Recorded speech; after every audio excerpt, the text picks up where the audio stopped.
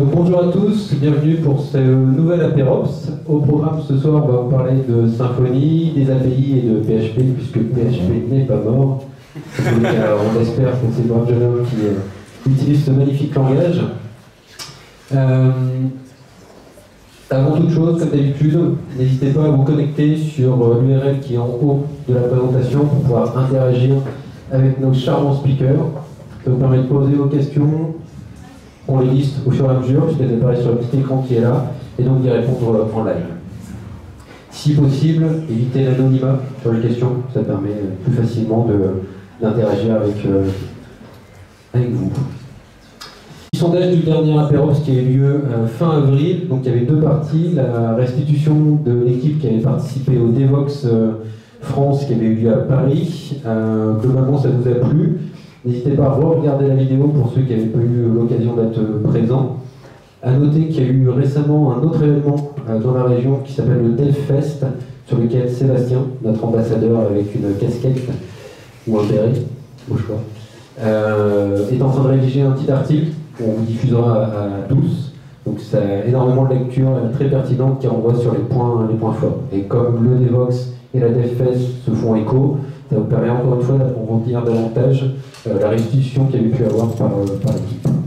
La deuxième partie, c'était le teaser, euh, bah, de nouveau par Sébastien, sur les mobs, donc sur les brokers de messages. Ce sera notamment la thématique du prochain apéro, qui aura lieu, Sébastien, tu seras prêt quand? Fin septembre. Fin septembre. Donc, pas le prochain apéro, celui encore d'après. Donc, ce sera la battle des brokers, donc on vous fera un retour d'expérience beaucoup plus précis sur le comparatif entre ActiveMQ, Apache Pulsar, Kafka, etc. Le programme de la soirée, donc c'est celui-là, code 9 côté PHP, code 9 côté serveur, Symfony, les API, la plateforme, une petite démo, et Benjamin et Florentin vont vous présenter également un outil de testing euh, utilisé sur, euh, sur Symfony. Euh, on va pas faire de pause pour une fois, pour enchaîner les différentes présentations et ensuite qu'on puisse tous profiter du barbecue et de la petite bière pour se rafraîchir et se désaltérer.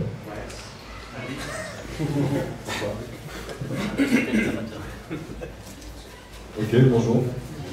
Faut me dire si je parle pas assez fort ou. Ça va, ça va. Parfait.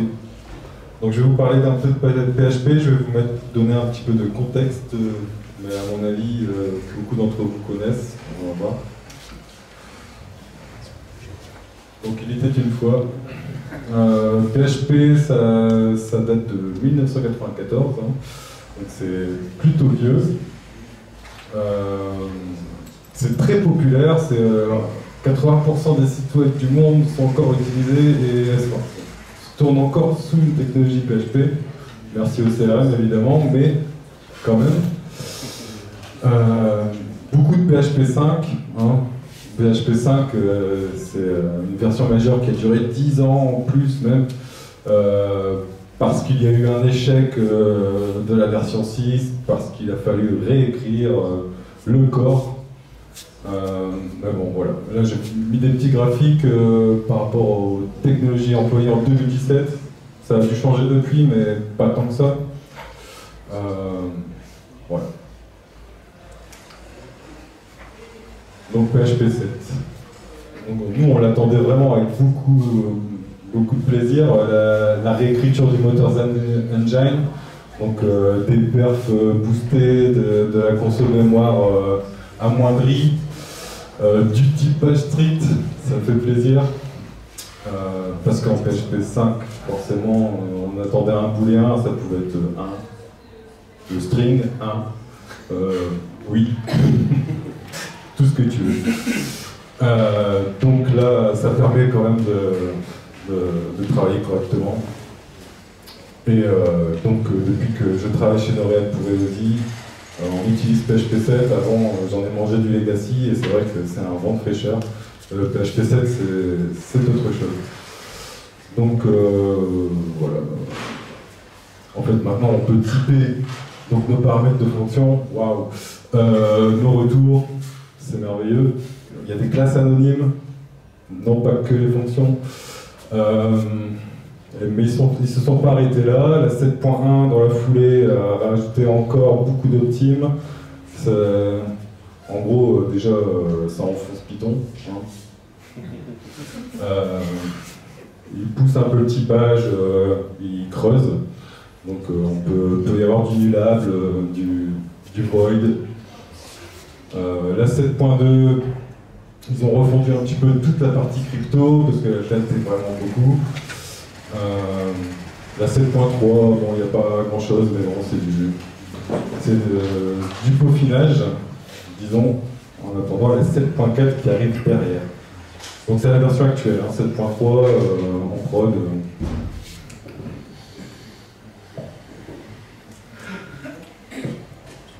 Donc la 7.4 euh, qui arrive bientôt là pendant l'été, elle va apporter euh, la compilation JIT. Donc ça c'est les gens qui viennent déjà doivent connaître à peu près. Donc euh, compilation à la volée, ça va aider beaucoup pour tout ce qui est calcul CPU, beaucoup et uniquement, c'est ça qui est, malheureux. Mais parce que le PHP c'est un langage de formation stateless, se rapproche beaucoup d'HTTP pour ça, et qui du coup, euh, c'est beaucoup de... Je bootstrap le framework pendant longtemps, je, récupère la requête, je réponds, et c'est fini, et on recommence tout le temps. Donc, Là, la compilation de JIT, elle va pas vraiment aider beaucoup, à part pour certains cas de figure, la sérialisation, par exemple, on, on utilise beaucoup la sérialisation, la désérialisation.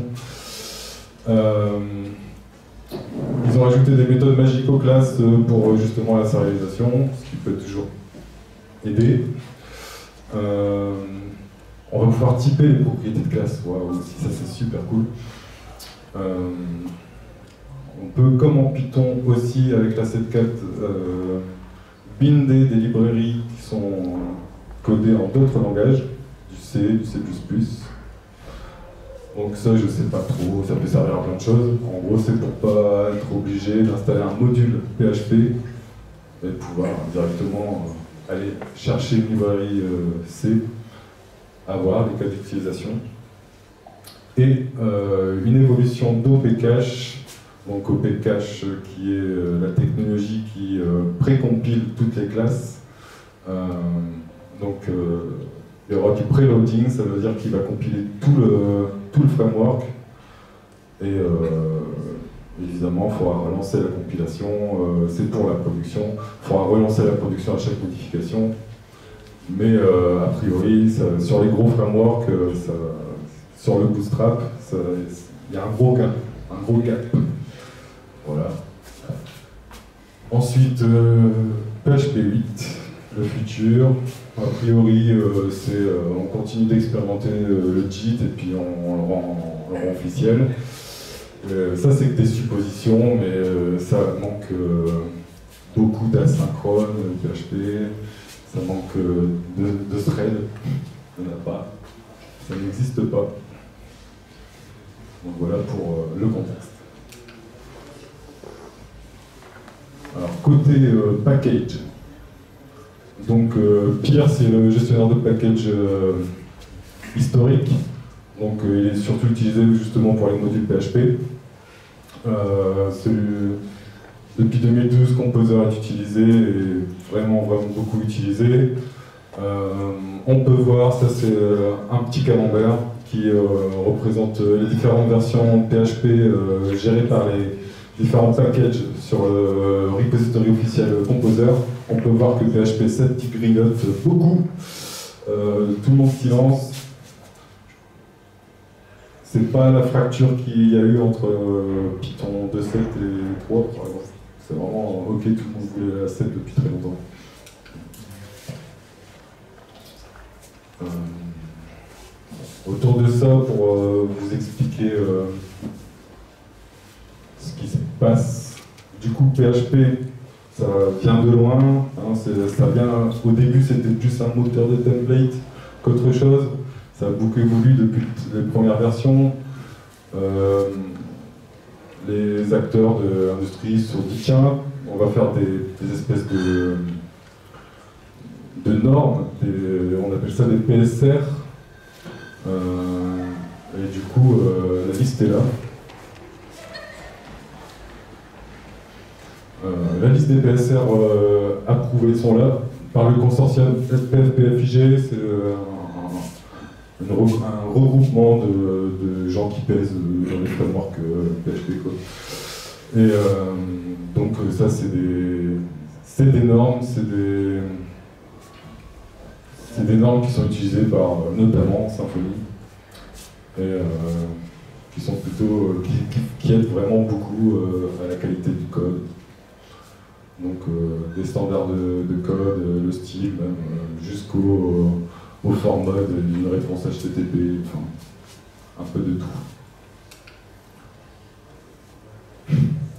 Donc là, je voulais parler aussi de la communauté. Symfony, c'est français. Euh, c'est quand même super cool. Euh, il y a beaucoup de nordistes qui travaillent dessus. Euh, notamment euh, Sensolab, évidemment, parce que c'est eux qui développent le, framework, mais d'autres acteurs du, Nord sont vraiment présents. Il y, a la FUP, qui est une association de développeurs PHP, qui est assez, efficace. Il y a beaucoup de frameworks, donc ça, ce n'est pas, euh, pas le graphique qui représente euh, euh, l'utilisation des frameworks monde du tout. C'est c'est un sondage de la FUP et c'est les développeurs français PHP ce qu'ils voudraient avoir comme spécialisation ou ce qu'ils ont. Donc on voit bien que Symfony ça a super, super à côté. Quoi de neuf côté serveur? Parce que PHP c'est une stack, donc euh, c'est toute une stack du coup. Euh, c'est un peu euh, difficile à, appréhender, peut-être c'est plus difficile parce que vraiment PHP c'est facile, mais du coup il faut installer un serveur PHP, il faut un serveur installeur HTTP, et il faut les configurer. Bon. Alors merci les containers, hein, maintenant ça se fait très vite et très facilement. Mais je voulais vous parler un petit peu de ça. Donc, euh, il est sorti, euh, il a été réécrit euh, un moteur PHP Fast CGI, donc bien, bien plus efficace. Ça gère, ça gère des poules de threads qui attendent et qui, qui font en sorte de réduire la latence. c'est beaucoup plus efficace, c'est vraiment fort démocratisé maintenant. Donc PHPFP a vraiment boosté en sus de, PHP 7 la rapidité générale de PHP. Euh, côté cache, euh, bon, on vient de loin. Euh, donc moi j'ai jamais trop utilisé APC, mais j'avais du LM cache dans, dans une vie antérieure et c'était vraiment la misère, fallait toujours leur c'était c'est quoi le problème, pourquoi ça marche pas, c'est le cache. Et, venu, est venu après OP Cache, qui est maintenant, qui n'est même plus un, plugin PHP, mais qui est vraiment intégré au corps. Comme ça, on est tranquille. HTTP2, ça aide forcément, mais ça n'a pas grand chose à voir avec PHP, mais bon, ça aide beaucoup. Donc là, il y a un petit graphique qui représente euh, le chemin le chemin que, que, prend une requête du côté, euh, du côté cache, fonctionne bien. Donc d'après ce que j'ai vu et qui me plaît beaucoup, c'est qu'il euh, y a des émergences euh, côté événementiel, programmation réactive. Donc il y a une librairie notamment qui s'appelle ReactPHP qui pousse dans ce sens Évidemment, euh, vu que c'est stateless, PHP, euh, ça apporte des complications parce que rien n'a été vraiment fait pour euh, que le. Il n'y a pas vraiment de garbage collector super efficace, il y a des fuites mémoire dans tous les sens. Mais ils ont trouvé une solution, c'est PPM, qui on entend de plus en plus parler. C'est quelque chose qui va non pas comme PHP comme PHP euh, FPM, euh, mettre des, serveurs, euh, des instances de serveurs PHP à l'écoute, mais carrément bootstrapper ton framework et il attend quoi. Et du coup tu peux faire un petit petit main, une classe main Java, on va dire, et, attendre ta requête tranquille. Donc forcément, ça va réduire énormément la latence, ce genre de technologie, et il y a beaucoup d'émissions là-dessus. Symfony et API plateforme. C'est là que je suis.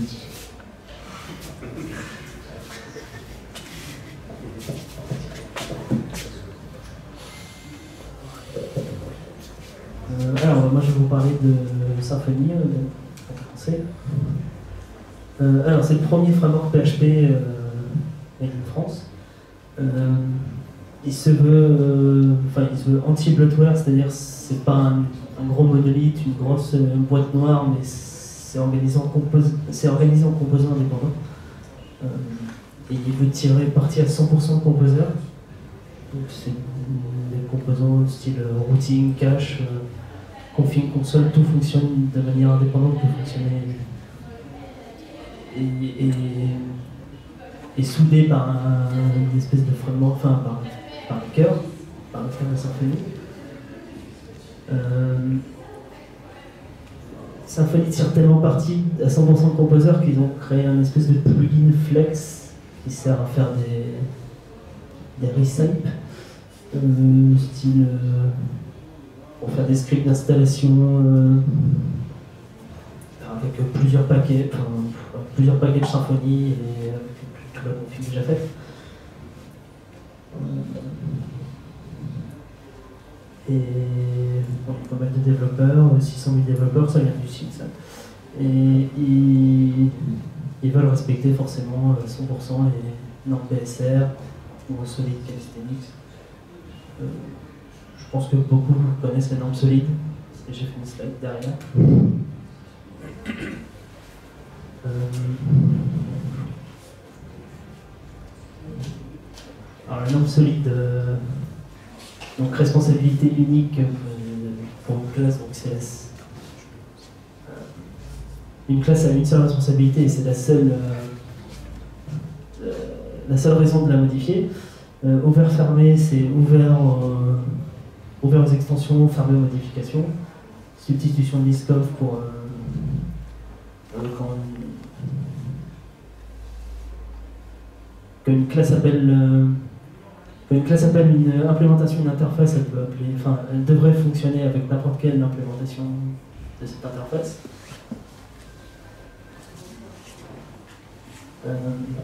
ségrégation des interfaces, ça veut dire que chaque, euh, chaque implémentation d'une interface doit être spécifique à, son client.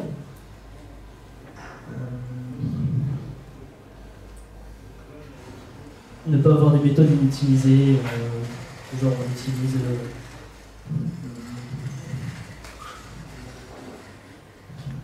on utilise une grosse implémentation d'une interface en utilisant une méthode et pas l'autre, on utilise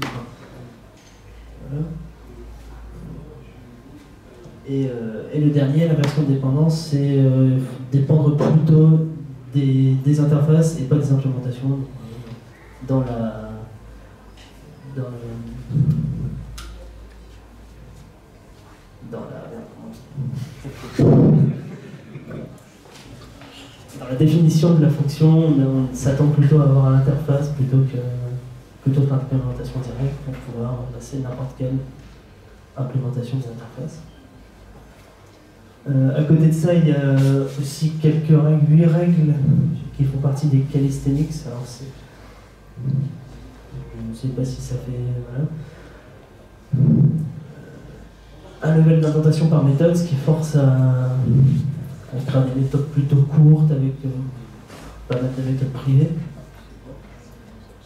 Euh, éviter, le, éviter les else et privilégier les returns et les, bah, méthodes privées là aussi, euh, qui permettent d'éviter les codes un peu spaghetti euh, qui font des if et des else dans tous les sens. La troisième règle, rappeler les types primitifs et les chaînes de caractères, c'est. ça, ça peut être utile pour un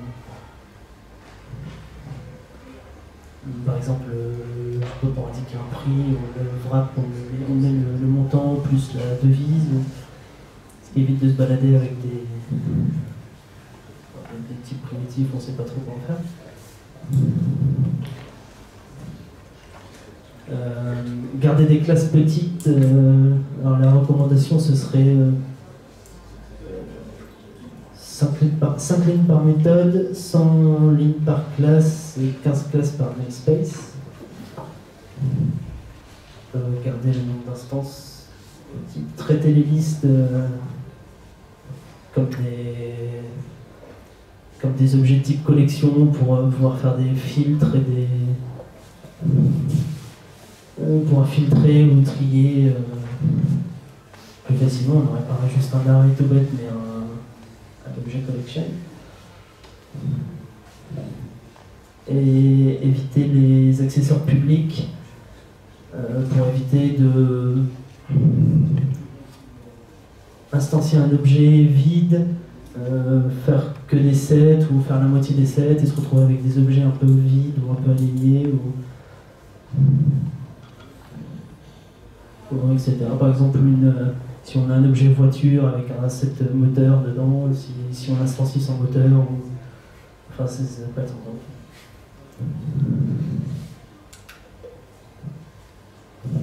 Alors, euh,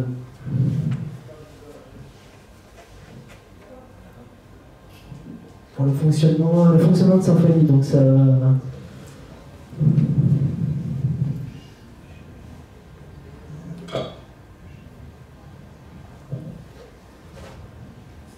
Donc ça part de HTTP Foundation euh, qui, gère euh, tous les aspects HTTP. C'est ça, ça prend tous les objets type get, post, euh, cookie, session, file, les, tableaux de base de au niveau HTTP. Ça les gère en, mode objet. Donc c'est HTTP Foundation qui récupère la, récupère, récupère la requête et gère la réponse sous forme de deux objets euh, request et response orienté objet. Euh,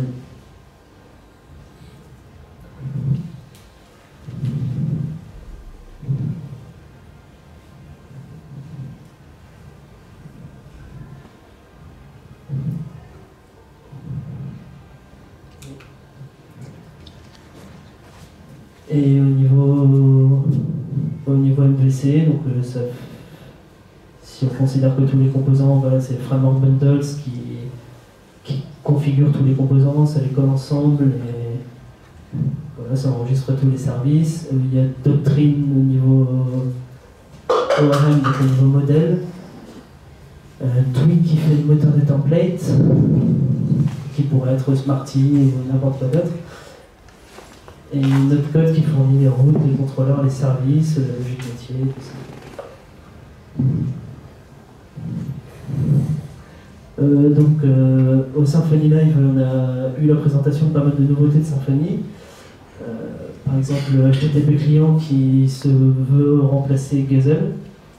Donc, ça permet de faire des appels HTTP classiques avec un décorateur API client euh, pour, euh, pour faire spécifiquement des appels d'API avec toutes les options qui vont bien, get, post, patch, tout ça. Ça a été présenté avec des performances assez, assez, assez sympas, comme le disait François. Euh, euh, en mode. En mode pas synchrone, si asynchrone, je sais, en mode asynchrone.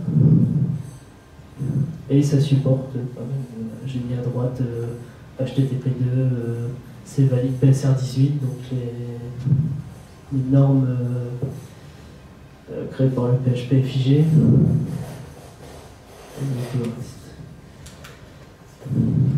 Euh, Il y a aussi un nouveau composant email, donc à la base Symfony utilisait SwiftMailer. Et donc ils ont décidé de refondre un peu tout ça pour, euh, faire un composant email euh, plus propre. Donc ça gère, euh, alors j'ai vu que ça en la semaine,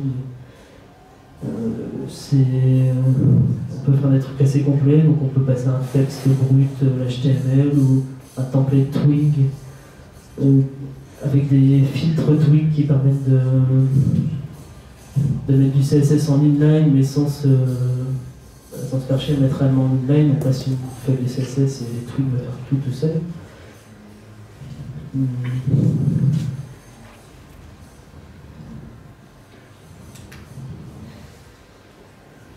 Euh, il y a aussi le Symfony Local Web Server. Alors c'est pour du local ou pour de la dev, c'est un peu dans le, dans le genre de Docker, donc ça permet de lancer, euh, lancer un serveur local, avoir son projet tout prêt, euh, pouvoir gérer des, espèces de domaines locaux, du SSL, plusieurs versions de PHP, local proxy, tout ça.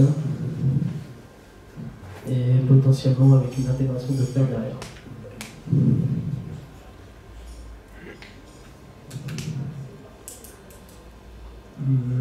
Et un autre composant aussi qui a été présenté, c'est euh, Mercure qui fonctionne sous la, sous la forme d'un composant qui s'appelle un Symfony et d'un hub.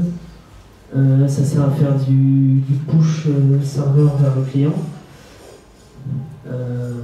en tirant une partie de, des serveurs Sentiment qui est une, nouveauté HTTP2.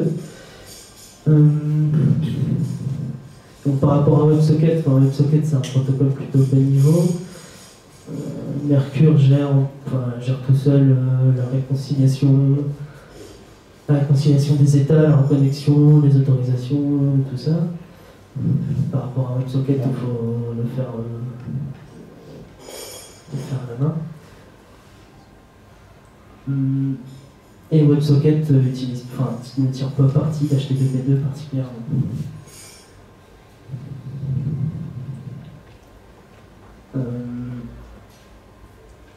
Mercure est inspiré de WebSub, qui est un protocole serveur à serveur, mais Mercure s'en sert pour faire du serveur à client. Donc ça fonctionne, euh, donc ça fonctionne comme ça. Donc les, clients peuvent subscribe, donc on envoie, euh, on envoie un event source à l'URL du hub et on passe un topic, donc on s'abonne à ce topic-là ou ce topic-là. Donc là, c'est si c'est branché sur un API plateforme, euh, là par exemple, il s'abonne à toutes les modifications qui auront lieu sur. Euh, c'était livre, j'ai pris l'exemple de base du, truc. Et, il peut y avoir des, autorisations en passant le bon, euh, le bon token ou le bon cookie pouvoir s'abonner à des autorisations qui sont pas enfin, des, des, des qui sont pas publiques. Donc si, voilà, si on n'est pas en ligne, on peut pas avoir on peut pas avoir les updates.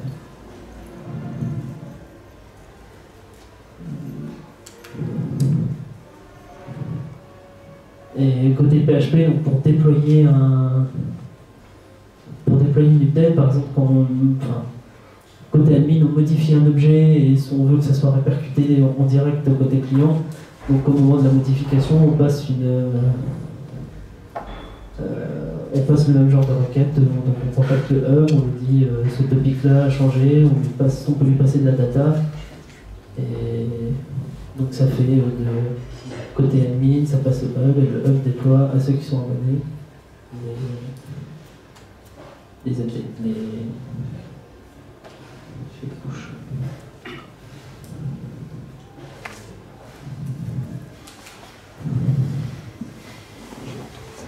après, c'est la plateforme.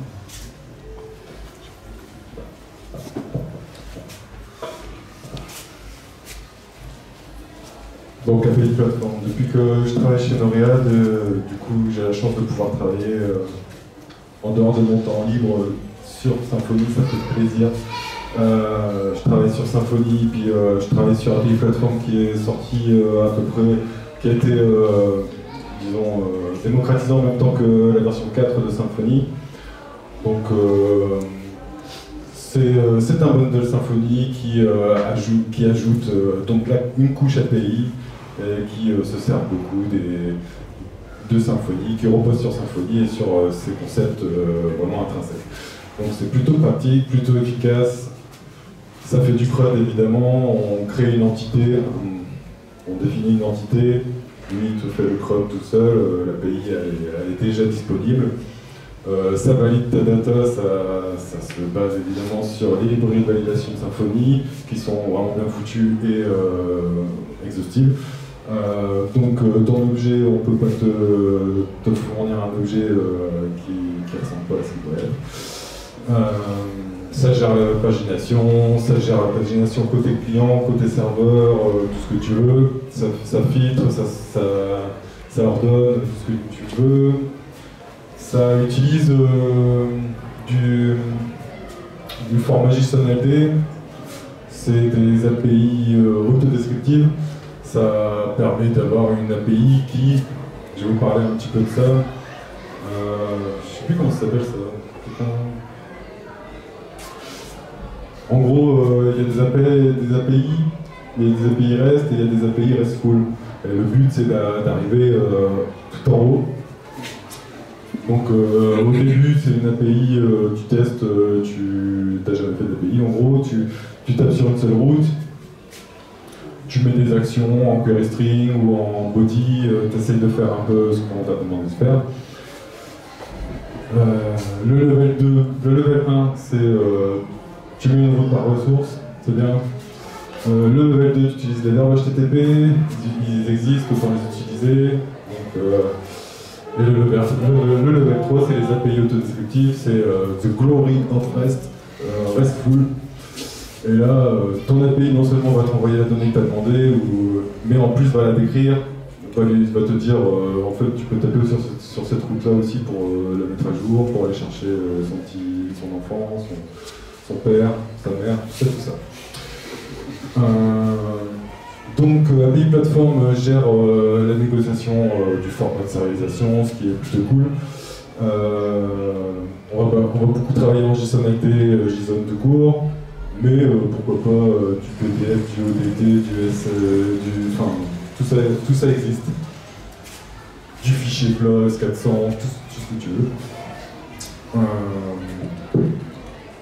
Ça supporte euh, les requêtes GraphQL.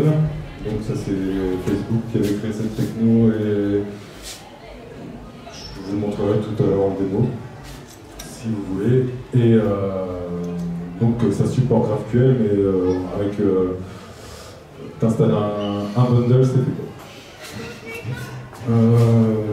fait ça respecte les, spécifications OpenAPI, donc il y a une DocSwagger super mignonne qui se génère automatiquement.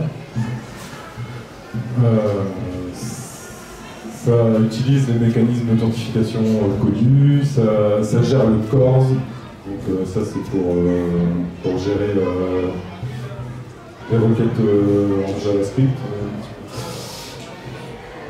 Et, et ça gère le cache. Et là, validation de cache encore. Voilà. Donc pour l'installer, ça on va pouvoir un petit peu reparler de, de Composer. Donc Composer c'est gestionnaire de paquets de PHP. On peut créer un projet Symfony, donc il va t'installer les dépendances euh, euh, de Symfony. Les, dépendances de Symfony sont vraiment en light depuis la version 4. La version 3 était un petit peu... Euh, un petit peu... il y avait point quoi, disons. Et euh, du coup, euh, Fabien Contencier, qui est à l'origine du framework, euh, s'est dit tiens, je vais créer un, framework vraiment light, qu'il a appelé Silex. Et puis après, il s'est dit ah, en, fait, en fait, on va refaire Symfony. Et la version 4 est venue de, ce souhait, c'est de rendre Symfony vraiment léger. Donc maintenant, on n'est pas obligé d'installer toute la, la couche templating, la couche doctrine.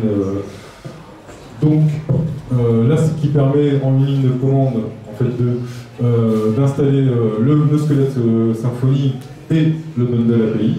Donc c'est pour dire comme ils aiment le bundle d'API Platform, ils, ont, ils ont mis un alias qui s'appelle API. Voilà, ça, ça va être le, bundle officiel API.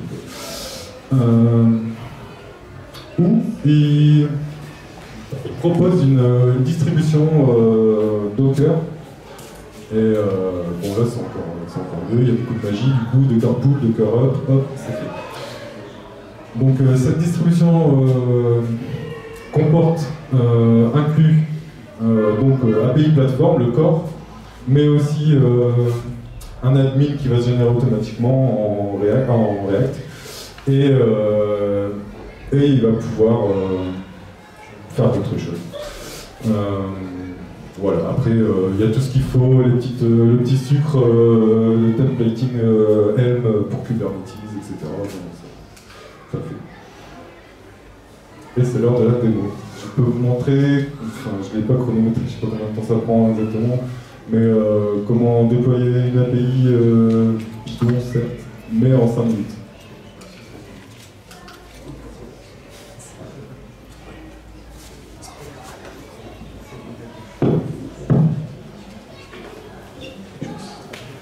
Donc je vais vous parler de la,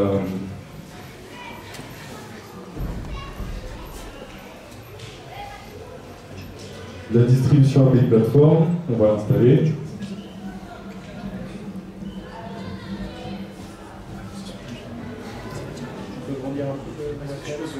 Tout à fait.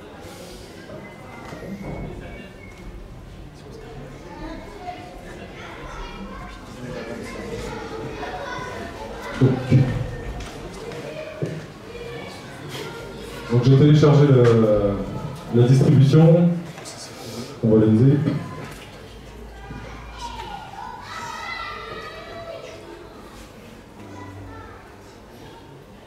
Je vais chercher ma petite feuille de route parce que bon, quand même.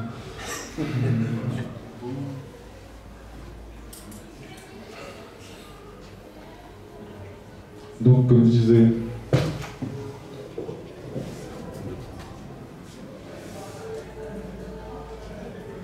Le Docker Pool, j'ai déjà fait. Le Docker Up.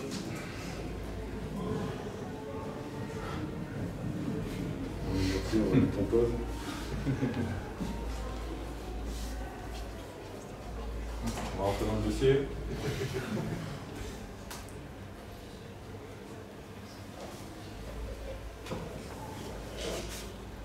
Donc pour faire ma démo, je vais utiliser euh, des schémas euh, de schéma.org. Je ne sais pas si certains d'entre vous connaissent. C'est plutôt bien. C'est euh, en fait, euh, quand on veut modéliser quelque chose, euh, c'est à l'initiative de Google, je crois. Il y a des mecs qui se sont dit tiens, on va rendre ça générique. C'est bien, merci. Et donc, euh, sur schema.org, il y a une liste euh, infinie d'objets euh, qui sont classés avec, un système d'héritage. Donc, une chose, peut-être une personne. Une personne a tant de champs possibles et imaginables qu'il la décrive. Donc là, on va faire pour la démo juste une petite application pour réserver une table à un restaurant. Donc je vais, utiliser, du coup la personne et euh, un objet pour réserver.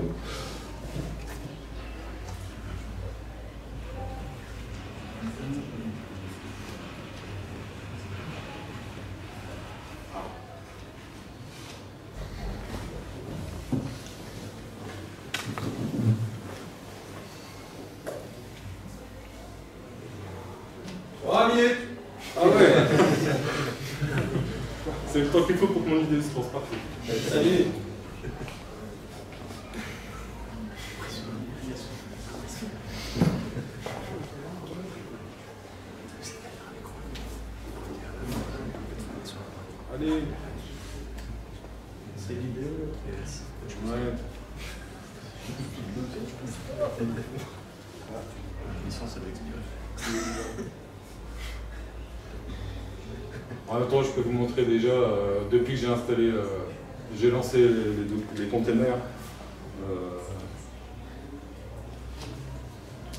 depuis que j'ai lancé les containers, du coup, le service est, lancé. j'ai accès à l'API, documentation Swagger. Voilà, elle est belle. Donc il y, a une entité qui est installée d'office. Donc c'est plutôt efficace. T'as la, puissance de Symfony derrière, tout est. Il y, a des, euh, y a des outils de, statistiques, de reporting, de, de logging, euh, de folie. Ça, c'est plutôt cool aussi. Il y a un admin qui est généré.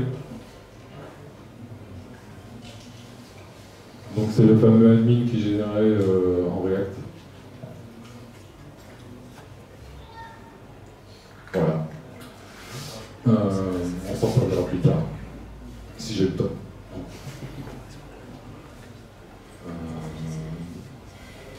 Euh,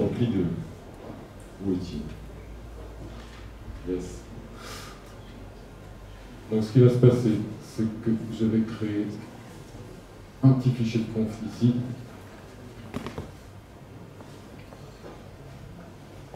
Donc en fait mon, mon PC n'est plus de prime jeunesse et il enregistre en même temps, donc euh, voilà ce qui se passe. Euh, euh, un petit fichier.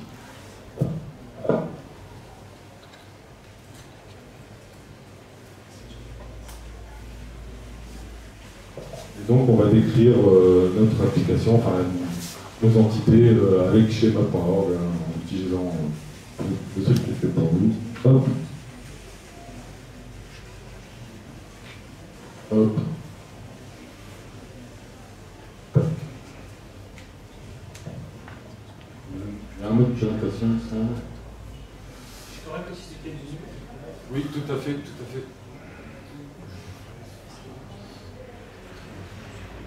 Est-ce que ça va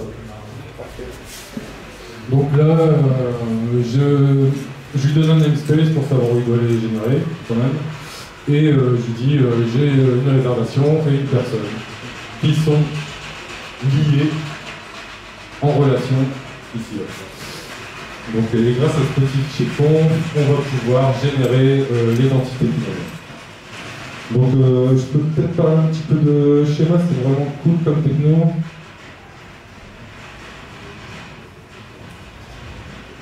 Donc là, par exemple, là, il y a tous les enfants de personnes. Une personne peut être un artiste, un, un candidat, un composeur, un, chef de guerre, tout ce que tu veux.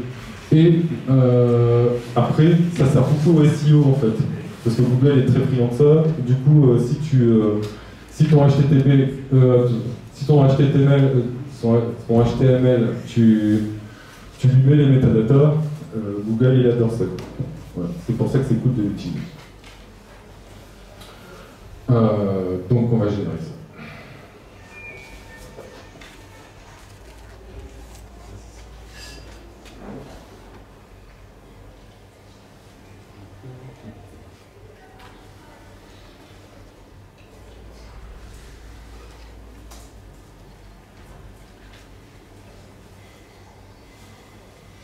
Donc je lui demande de générer.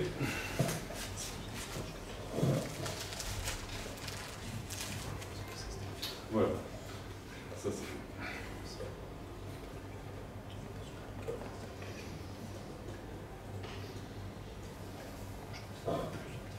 Donc, comment on sort de là.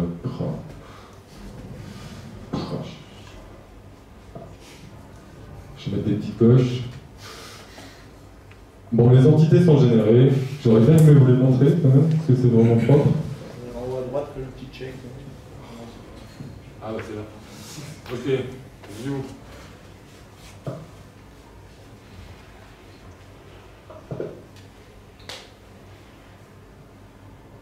Donc ça va créer des entités qui se trouvent dans mes, dans mes sources. Clac, clac.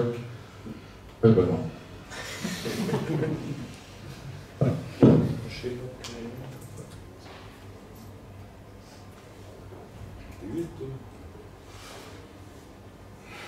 Créer un dossier chez moi pour y aller. Ça me fait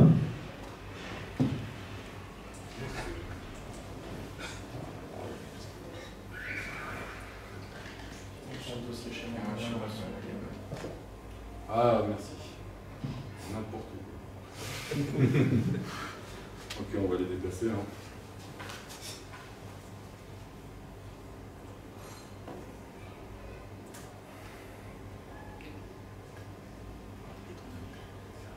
Ah, il y a du Rilani. C'est autogénérique. C'est ça.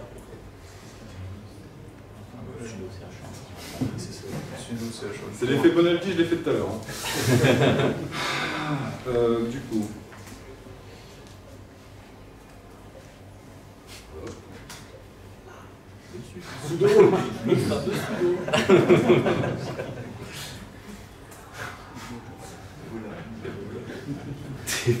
Pardon, je suis désolé, c'est ma session. Bon.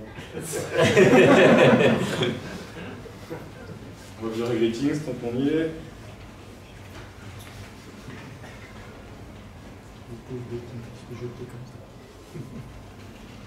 Présentation mode. Euh, voilà, donc ça a créé. euh, c'est un petit peu comme en Java, il y a beaucoup d'annotations, ça ajoute beaucoup de magie. Euh, ça, a créé mon entité, ça lui, a mis les, liens vers schéma.org qu'il faut, ça lui a, ça l'a- typé autant qu'il se peut en PHP. Donc mon entité existe. Et si, si je retourne sur mon API,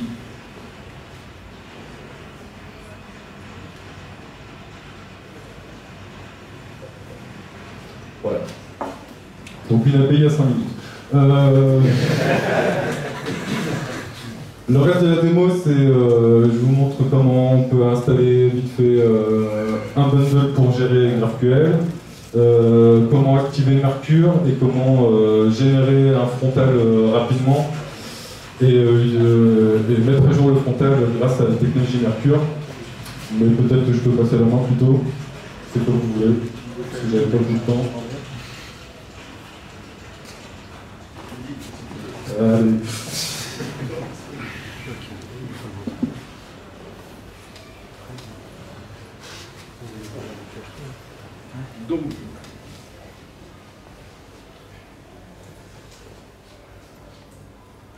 On va créer le schéma de la BDD.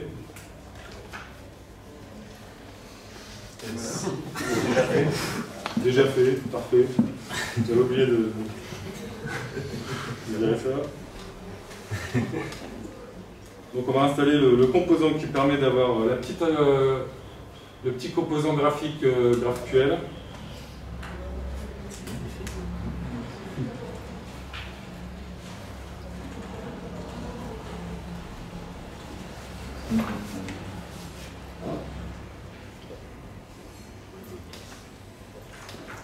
Composant en action, c'est long. C'est du PHP. Non.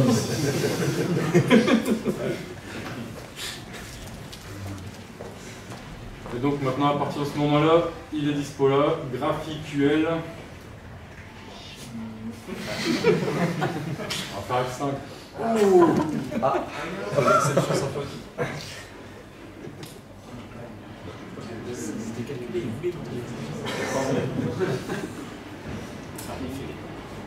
va bien.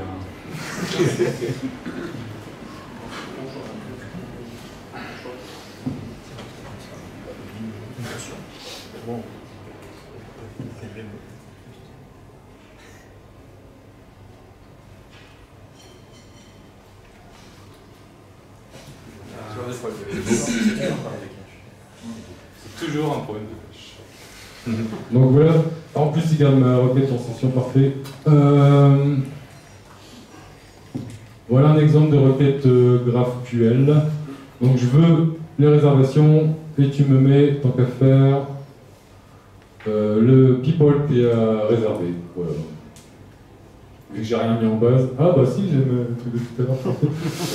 Euh, ça fonctionne, il m'a fallu une ligne de code, c'est quand même cool. hein.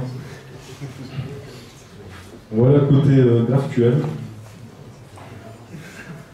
Bon, évidemment, il y a des mutators, on peut faire aussi de l'écriture, on peut faire plein de choses dans GraphQL, c'est assez complexe, j'ai pas tout, tout vu en fait. Euh, je vous propose de mettre en route Mercure.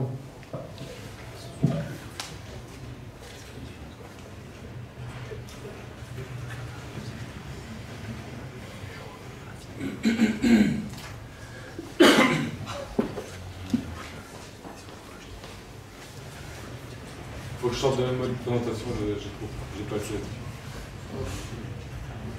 Non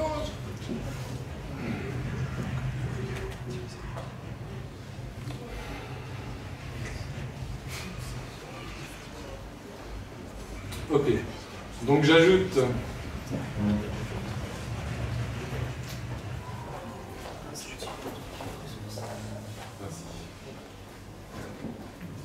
J'ajoute une petite annotation parce que c'est la même personne qui gère euh, Mercure qui a déposé la RC, la qui gère aussi le bundle API. Donc euh, il s'est fait plaisir. Euh, J'active Mercure pour cette entité. Et pourquoi pas pour l'autre. Hop.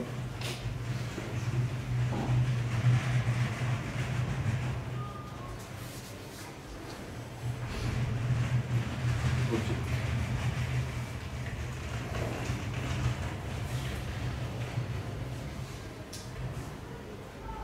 Ça pourrait être plus fluide, hein, je suis désolé. Et là, je vais générer le front. Parce qu'il y a un petit outil pour générer le front. Euh.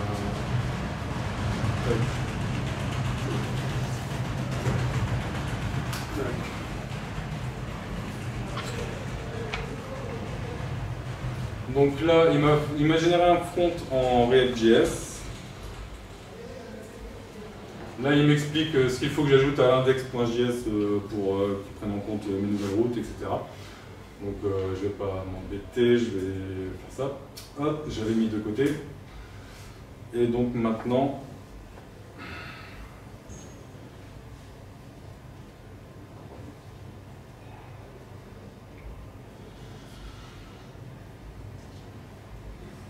donc j'ai mon j'ai mon frontal à gauche.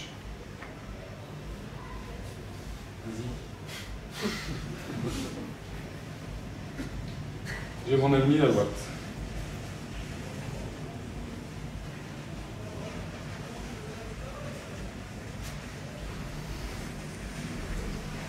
Donc on était deux.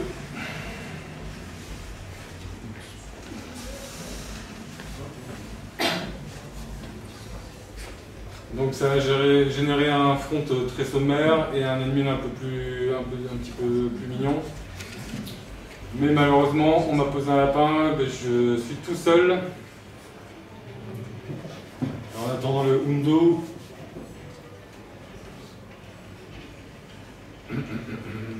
Et voilà, Noti- notification push euh, avec euh, une, une- annotation Mercure Galtrue. Euh, le frontal euh, récupère euh, l'événement et modifie, euh, modifie l'application. Voilà.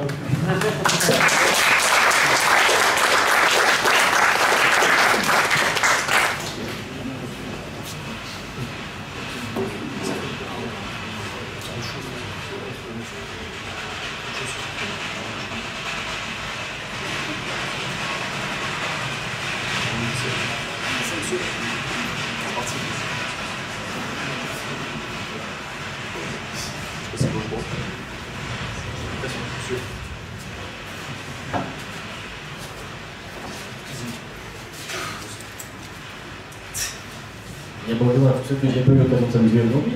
Euh, maintenant que vous savez euh, déployer une application Symfony euh, en quelques minutes, comme vous l'a montré euh, François et Fabien, euh, on va maintenant apprendre à la, à la tester ensemble. Donc nous, euh, dans l'occasion du projet euh, GLEC, un projet euh, pour le client Noréal, on, a fait des tests sur une application Symfony. On a fait deux types de tests. Des tests dits unitaires que vous connaissez tous, hein, on va tester une seule unique fonction par test, on donne des entrées puis on vérifie les sorties. Et en plus de ça, on a fait ce qu'on appelle des tests fonctionnels. Donc la différence, c'est que par rapport au test unitaire, on pas euh, l'application fonction par fonction, mais l'application de manière intégrale via les tests. C'est-à-dire le test euh, va réagir comme un client physiquement sur le site, va faire des actions sur le site web, cliquer là, remplir euh, telle valeur dans tel champ, cliquer sur tel bouton. Et là, à l'écran, on va vérifier euh, les informations euh, qui sont euh, affichées. Euh, donc euh, en une fois, on va tester euh, toutes les couches du programme, les vues, les contrôleurs, les microservices éventuels qui sont derrière.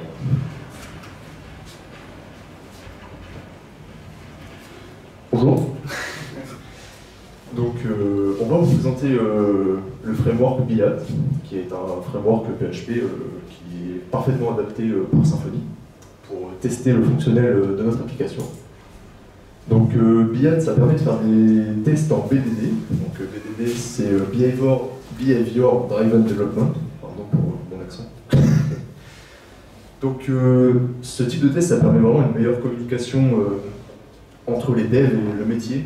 Euh, ceux qui ne sont pas devs et qui ne comprennent pas forcément les lignes de code, je pense que pour Nadège et Clémentine notamment, ça va vous aider. Donc ça, c'est grâce à un langage qui est le langage Jer- Jerkin, qui euh, reprend des phrases, tout simplement, avec des arguments, et chaque phrase va correspondre à une fonction qui sera générée dans notre code. Euh, pour effectuer nos tests, pour effectuer nos tests, on a utilisé l'extension. Donc, euh, C'est une extension du framework React. Et euh, Mink va nous permettre d'utiliser un serveur web afin de, que notre euh, testeur, notre framework, ouvre carrément une nouvelle session dans un nouveau navigateur de notre choix. On pourra le configurer, etc. Et donc là, nous, en l'occasion de nos tests, on a utilisé le serveur Selenium 2, peut-être que certains connaissent. Un serveur web est assez connu, Et euh, pour les interactions avec euh, notre page web, on utilise les CSS. Voilà, c'est un moyen très simple et efficace d'interagir avec tous les éléments de la page. Donc ici, vous voyez, donc notamment, euh, excusez-moi, j'ai oublié de le préciser, donc on peut installer via via Composer, évidemment, comme tous les frameworks de Symfony. Et euh, donc ici, Biat, ça permet aussi de faire, euh, donc on va écrire nos scénarios en Jerky, qui seront euh, lisibles, par, euh, lisibles par le métier. Et on peut générer des contextes, donc toutes nos fonctions, en fonction du scénario. C'est là le gros avantage de BIAD, c'est qu'on écrit le scénario, une fois qu'il est validé, on peut générer toutes nos fonctions à partir de celui-ci. Et donc là, vous voyez euh, la ligne de commande qui nous permet de générer tous nos contextes, donc euh, nos fonctions de test. Donc voilà, c'est très, très simple, très symphonie.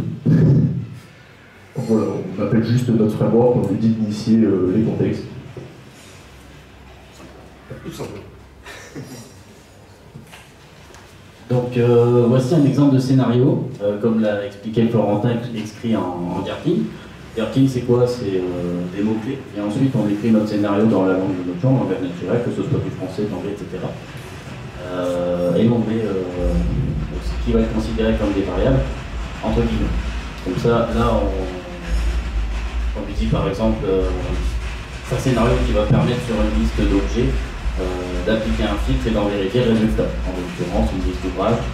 On lui dit que au début, l'état euh, initial, c'est que je suis sur la page des ouvrages. Les when, c'est pour décrire les actions avec les m qui sont en dessous. Les 1 font que répéter le mot-clé qui est dessus. Donc quand je clique sur le bouton filtrer les résultats et que je renseigne le champ BCE dans code, etc., à la fin, dans le DEL, je vais vérifier l'état de la page pour voir s'il correspond à ce qui est attendu par le client. En l'occurrence, si j'applique le code PCE, j'obtiens 11 résultats dans le tableau. Et tous les résultats ont dans la deuxième cellule euh, de chaque ligne euh, un code qui commence par PCE.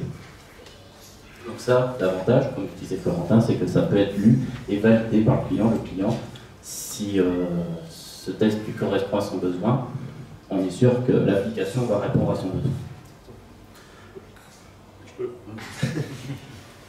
Euh, juste une petite chose en plus, euh, vous voyez la notation euh, à JavaScript. Celle-ci euh, permet justement d'utiliser l'extension de BIAT.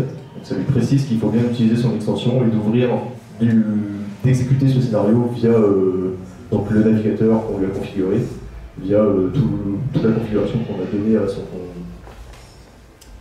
son, extension. Et ici, la nouvelle ligne de commande. Comme précédemment, on a généré nos contextes par rapport à un scénario qu'on avait écrit, donc celui-ci.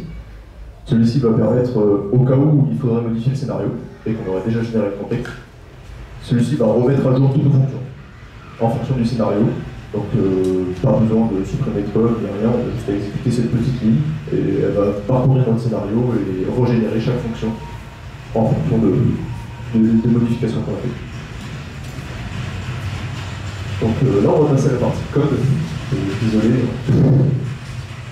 Donc, comme vous, comme vous l'avez vu précédemment, on utilise des mots-clés. Euh, ici, vous pouvez retrouver given et when. Déjà, on est dans notre classe. Donc, on est bien dans une classe contexte qui appelle nos ouvrages. Ça, c'est par rapport à notre, notre application. on étend bien le- l'extension MIC.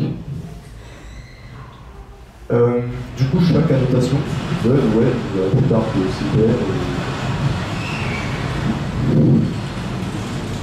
donc, on retrouve la première phrase.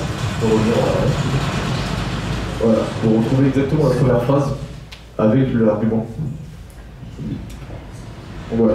Et on voit bien que l'argument est passé en argument automatiquement. Tout ça, tout ça généré automatiquement, excepté ce qui est à l'intérieur des fonctions. Donc ça c'est vraiment nous euh, qui écrivons notre test on le fait euh, exécuter ce que nous on veut. Donc euh, voilà, on retrouve euh, given, when. Chaque fonction euh, récupérera le- la phrase dans son ensemble. Là on a je suis sur la page plus l'argument. Ici on a je clique sur le lien plus l'argument.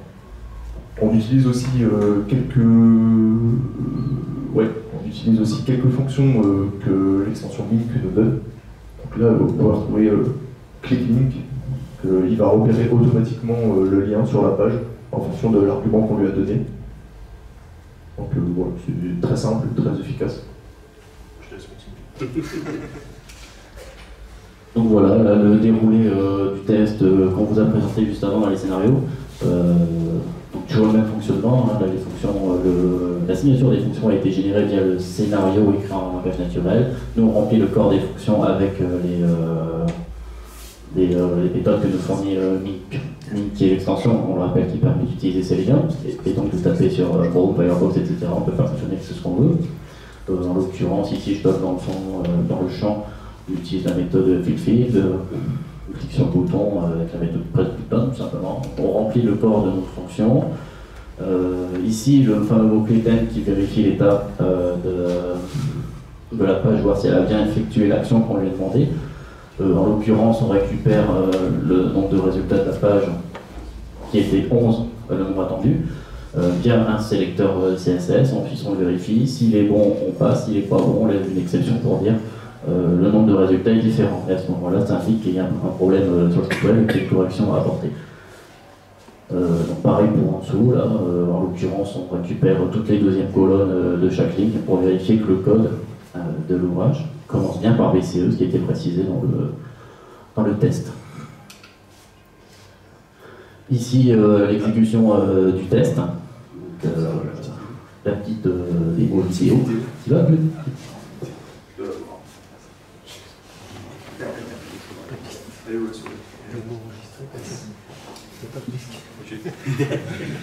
Effectivement, on évite l'effet des boules.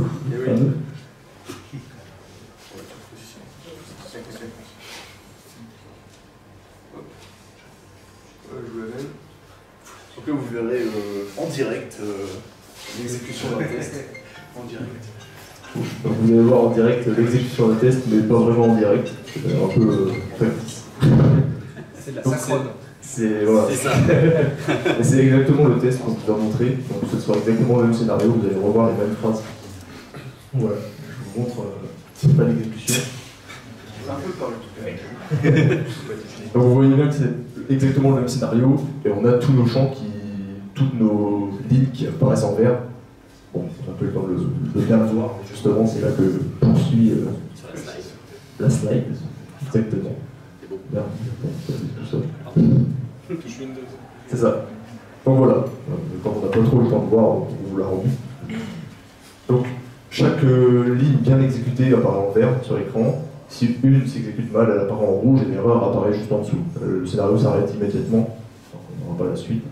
Mais comme vous voyez ici, on a bien la correspondance, donc on voit euh, le JavaScript qui précise que l'extension est utilisée. On a bien notre scénario, toutes nos lignes qui sont contenues dans le scénario, et on a ici les correspondances à chaque fonction.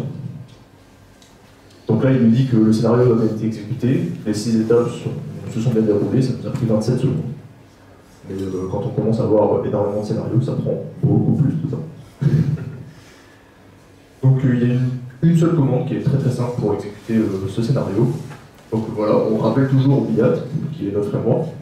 Ici, on lui précise une suite, comme on génère beaucoup de contexte, à force de générer beaucoup de features, donc, plusieurs scénarios qui vont toucher à plusieurs, plusieurs étapes, plusieurs, plusieurs pages de l'application. Ici, on a pré- préféré mettre des suites qui vont préciser euh, à chaque scénario quel contexte lui est euh, attribué. Et ici, on a donc notre feature qui contient tous nos scénarios.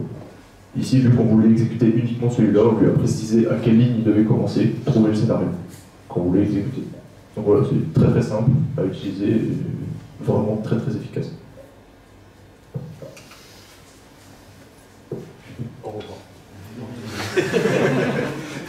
Bah, du coup, le real time, forcément, merci à tous de nous avoir écoutés. Il y a des questions d'abord.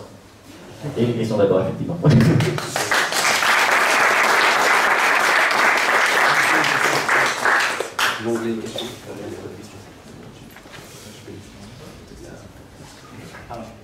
Des participants. Juste Oh là là. je te laisse commencer. C'était bien tenté de gagner un mois, euh, Aurélien. Euh, Il y a Valentin qui s'est proposé pour euh, la période du, du mois d'août. Si, on vient d'en parler? On peut pas afficher les questions? Eh ben, tu les lis Donc il y a Aurélien qui demande euh, en quoi ça enfonce Python? C'est vrai, j'ai un peu trollé. Euh, si tu regardes les benchmarks, euh, C'est comment, PHP 7, euh, C'est jour. PHP 7 enfonce Python, quoi, tout simplement. Après, euh, Python a d'autres atouts, hein, euh, notamment les bindings C, et, euh, Python est très opti pour faire des îles. et ça, ça aime bien les maths, Python, ça aime bien le système, le système de fichiers, tout ça. Bon. C'est juste que sur des, sur des benchmarks, donc des algorithmes type euh, du tri, des trucs comme ça, euh, PHP 7 est plus rapide que euh, Python 3.4.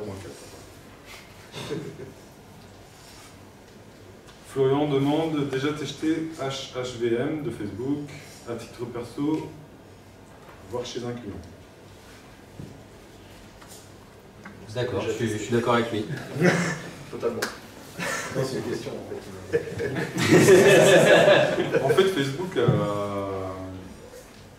À la sortie de PHP 7, Facebook a dit euh, bah, écoute, euh, écoutez, retournez sous PHP parce que euh, en fait, euh, C'est aussi c'est puissant. c'est ce qu'a H- HVM, c'est- du type H-Street et puis euh, une implémentation plus rapide. C'est Ouais. la compilation à la volée et, la, ben, et puis la compilation en binaire, du coup c'était plus puissant, mais ben, plus rapide.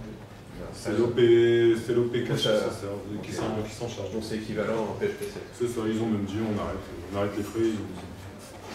La team Zend qui avait écrit. Euh...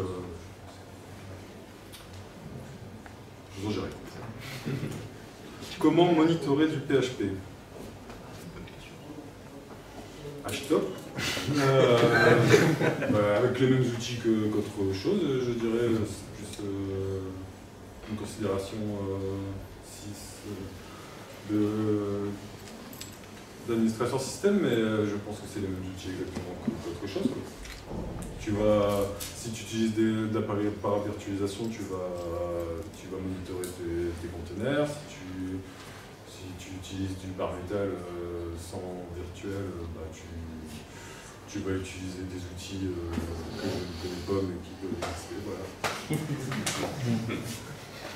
J'ai jamais trop fouillé. euh, Tu peux arrêter propre question. Déjà le 18e Aperops? Oui. Majorité Bravo. Et une question de François. Peut-on franciser les mots-clés de BIAT pour aller jusqu'au bout du jusqu'au boutisme? Oui, il existe un petit framework pour, euh, enfin un petit bundle pour franciser les fameux given, etc. Qu'on n'a pas voulu complémenter.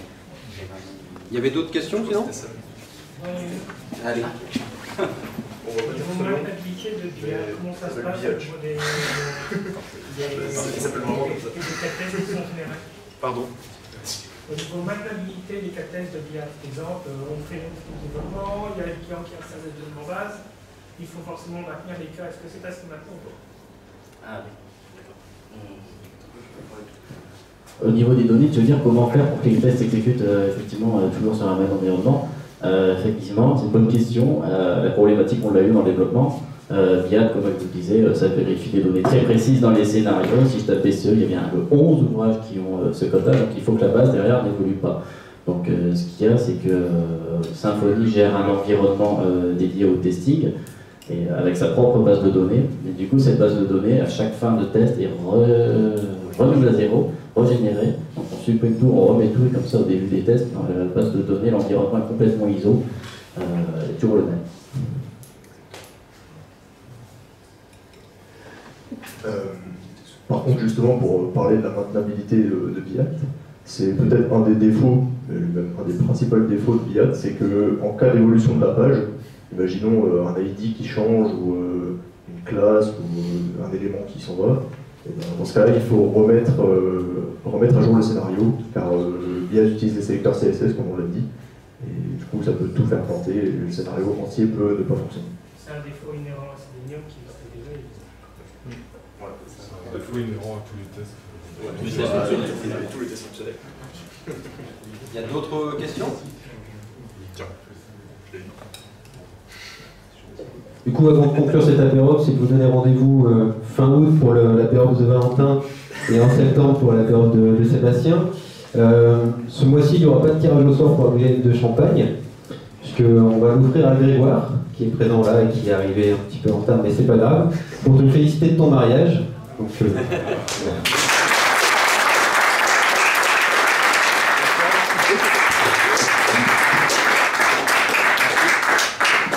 Bisous, bisous, bisous. Donc merci à nos speakers, je vous demande de leur faire un tonnerre d'applaudissements.